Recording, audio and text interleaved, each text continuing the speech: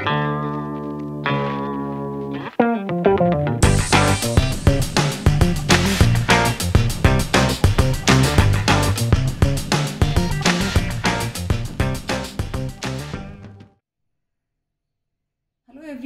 welcome to Goldie tasteful kitchen मैंने ये एक कप मूंग दाल, धुली हुई मूंग दाल है ये, उसको ओवरनाइट सोक किया है। वैसे थ्री टू फोर आवर्स भी कर सकते हैं, क्योंकि मुझे अर्ली मॉर्निंग बनाना था तो मैंने इसको ओवरनाइट सोक किया है और ये अच्छे से सॉफ्ट गल गई है और इसका पानी मैंने स्ट्रेन कर दिया है। तो आप देख सकते हैं, हमें इसको भिगोने से पहले दो तीन बार धोना होगा। फिर लिया है मैंने ये हींग, जो आप पीसने के बाद भी डाल सकते हैं। एक हरी मिर्च ली है, एक इंच अदरक लिया है और एक चम्मच जीरा, जो मैं इसी के अंदर डालने वाली हूँ। और फ्लेवर यकीन मानिए, बहुत अच्छा आता है। तो हम सबसे पहले इसको ग्राइंड करेंगे। हम इसमें दाल डालेंगे। पानी हमें बहुत कम डालना है। थोड़ा सा पानी इसी के अंदर है। उसी से हम पीसने की कोशिश करेंगे। दाल को हम जो है वो रुक रुक कर चलाएँगे।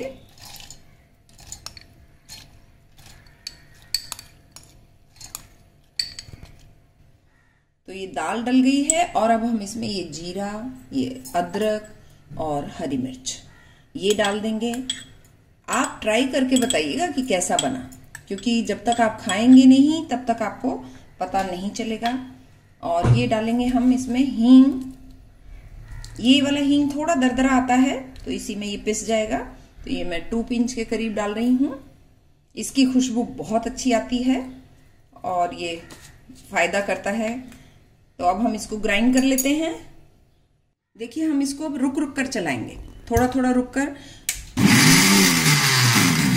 और जितना थोड़ा पानी डालने की ज़रूरत होगी, तब हम डालेंगे। आप देखिए, ये इस तरह से पिसना शुरू हो गई है। मूंग दाल थोड़ा जल्दी पिस जाती है। ये देखिए, जीरा और इसका फ्लेवर, खुशबू बहुत अच्छी आ रही है। हरी मिर्च मैंने बाद में भी डाली है काट के तो आप अपने हिसाब से कम ज़्यादा कर सकते हैं। और देखिए फ्रेंड्स, ये बहुत परफेक्ट जो है, पिस गया है।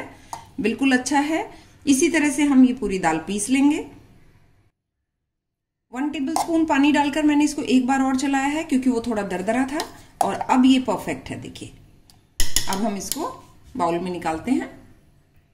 तो ये देखिए हाफ़ मैंने ये ले लिया है। ये देखिए, आधा घंटा रखने के बाद ये कुछ इस तरह की फ्लफी हो गई है।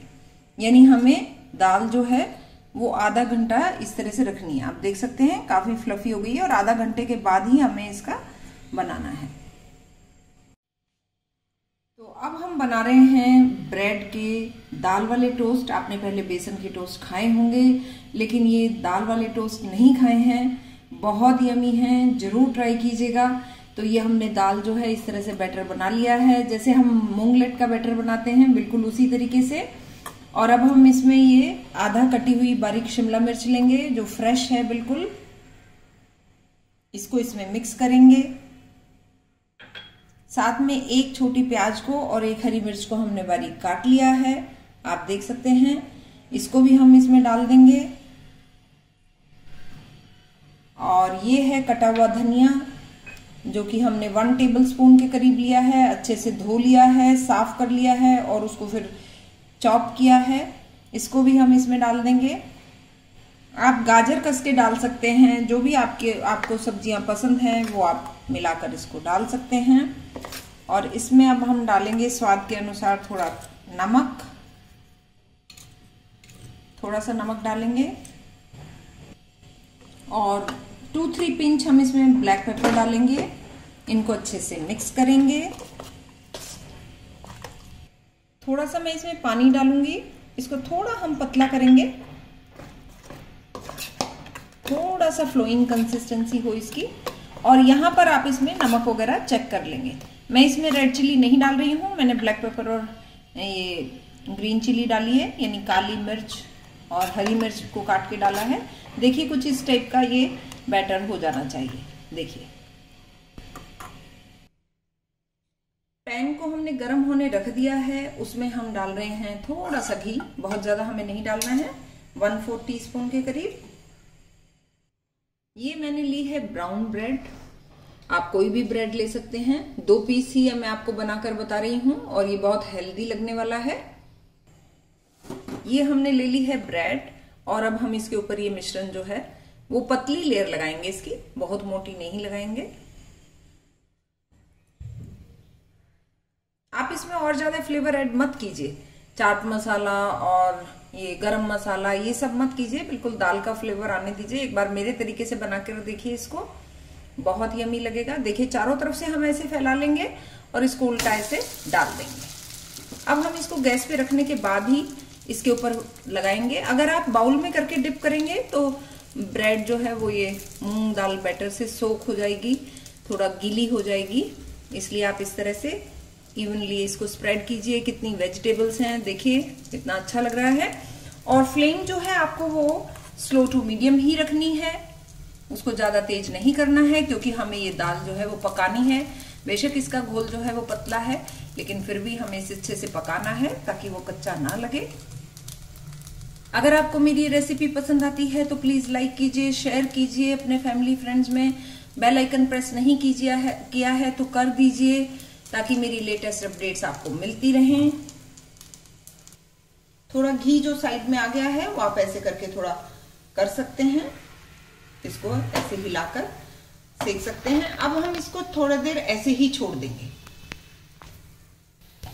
कुछ ड्रॉप्स घी के हम इस साइड भी डाल देंगे, ताकि जब हम इसको पलटेंगे तो ये अच्छे से नीचे से सिक जाएगा। और अब हम ये स्पैचुला की मदद से इसको पलटेंगे।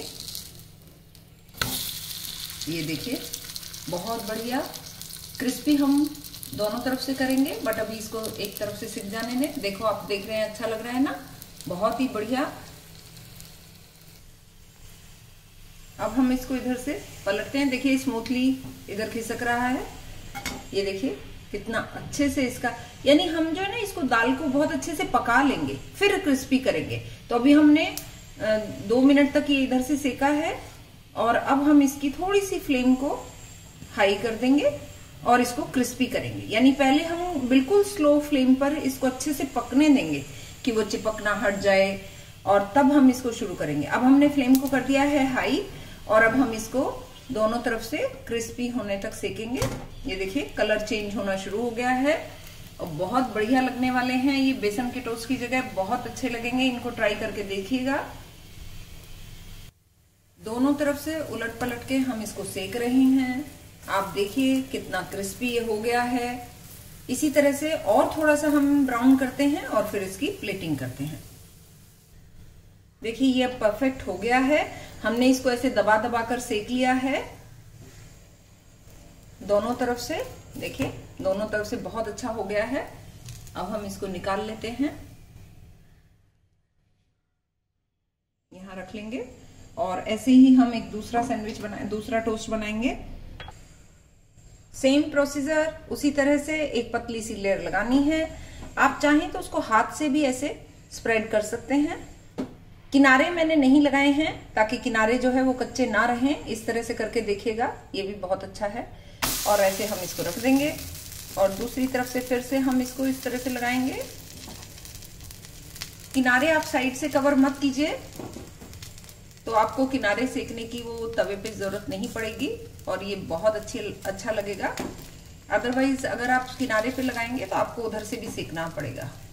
यानी अगर डीप फ्राई कर रहे हैं, कोई पकौड़ा टाइप बना रहे हैं तो आप उस तरह से लगा लीजिए। आई होप आपको ये मेरी रेसिपी पसंद आएगी और आप ये इवनिंग स्नैक्स या ब्रेकफास्ट में ज़रूर ट्राई करेंगे। मैं बहुत मेहनत करके ये रेसिपीज़ लेके आती हूँ। आपके लिए अगर आप पसंद करते हैं और आपका कमेंट मुझे मिलता है तो मुझे बहुत खुशी होती है। ये देखिए, अब हम इसको धीमी आँच पे काफ़ी देर के लिए पकने देंगे, यानी टू थ्री मिनट्स के लिए इसको आराम से पकने देंगे। जब तक हमारा दूसरा ब्रेड टोस्ट सीख रहा है, तब तक हम इसको कट करते हैं। इस तरह से पकड़ के आप इसको कट करेंगे। और ये देखिए, बिल्कुल अच्छे से सिका हुआ है, कहीं भी आपका बिल्कुल चिपक नहीं रहा है।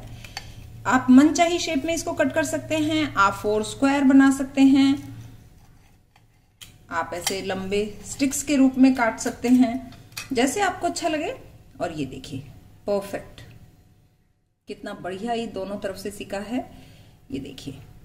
तो ज़रूर ट्राई कीजिएगा, इधर ये ब्रेड का किनारा है, जो बिल्कुल ऐसे स्मूथ दिख रहा है तो ज़रूरी नहीं है आप उसके किनारे कवर करें। ये मैं आपको टिप दे रही हूँ, ताकि यहाँ पे कच्चा नहीं लगेगा फिर आपका। अच्छे से सिक जाएगा। तो अभी एक ब्रेड और सेक लेते हैं, फिर आपको दिखाती हूँ। इसमें भी हमने थोड़ा थोड़ा ये घी कुछ ड्रॉप्स में डाल दिया है। आप इसको घी को पिघाल के भी डाल सकते हैं। थोड़ा सा पिघल जाए, उसके बाद डाल दें। और अब हम इसको ऐसे पलट देंगे, फिर दोनों तरफ़ से बाद में क्रिस्पी होने तक सेकेंगे। यानी दो दो मिनट आपको दोनों तरफ़ से थोड़ा सेकना है और उसके बाद फिर क्रिस्पी करना है। देखिए, बहुत अच्छा सा कलर है। और मैं यहाँ आपको दिखाऊँ, ये देखिए, दाल की जो लेयर है वो बिल्कुल अच्छे से सिक गई है। यानी आपको बहुत टाइम नहीं लगता है ये टोस्ट बनाने में, बहुत जल्दी बनते हैं और बस आपको सेकने का उसको ध्यान रखना है। कितना अच्छा कलर आया है, देखिए। तो अब हम इसको निकाल लेते हैं और इसकी प्लेटिंग करते हैं। तो इसको निकाल लिया है और इसको भी हम ऐसे कट कर लेते हैं। बहुत सॉफ्ट है अंदर से ब्राउन ब्रेड है। बहुत ही यमी लगने वाला है। आज ही ट्राई कीजिए। अभी बहुत गर्म है तो धीरे से हम इसको कट कर रहे हैं। और ये देखिए परफेक्ट कितना अच्छा बना है, जालीदार। और इधर से देखिए ब्रेड के साइड में। कोई ज़रूरत नहीं है ब्रेड को साइड से कट करने की, ये मैं आपको बार बार बता चुकी हूँ। अब हम लेते हैं अपनी ट्रे ये मैंने ट्रे ली है। इस पे थोड़ा सा मैंने रेड चिली को स्प्रिंकल कर दिया है और बीच में ये मैंने मिंट चटनी की लाइन लगा दी है। अब हम करते हैं इसको असेंबल ये देखिए कितने यमी लग रहे हैं आपके ये टोस्ट आशा करती हूँ कि आप ज़रूर ट्राई करेंगे। बहुत गर्म है, बहुत बढ़िया। ज़रूर ट्राई कीजिए। Thank you so much for watching my recipes